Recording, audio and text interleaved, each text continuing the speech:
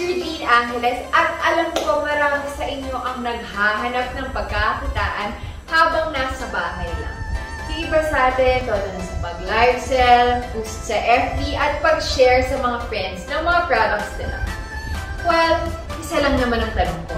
Gusto mo bang kumita ng up to 60,000 a month kahit nasa bahay ka lang?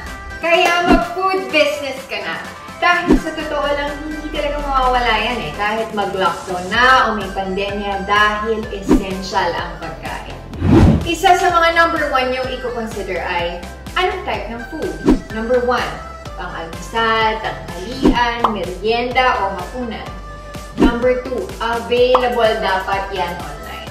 Pero kung gusto mo mapadali ng lahat ng yan, mag-showmaking online franchise business ka na. Una, magkakaroon ka ng sarili mong showmaking shop kung saan dito makaka-order lahat ng mga customers mo. Pangalawa, bukod sa showmaking, meron ka pang anim na food cart franchise concepts na pwede mong i-offer katulad ng Box, Boy Bondat, Potato King, Noodle House, Burger Factory, at Choco the King. Pongga, diba? Showmaking na ang bahala sa produktong gusto mong i-offer.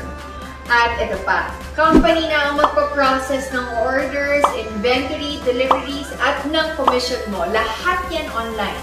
Sa simpleng cellphone at wifi, may negosyo ka na. Kaya ano pang hinihintay mo? A showmaking online franchise na. Just comment down below para masimulan mo ng negosyo mo kahit nasa bahay.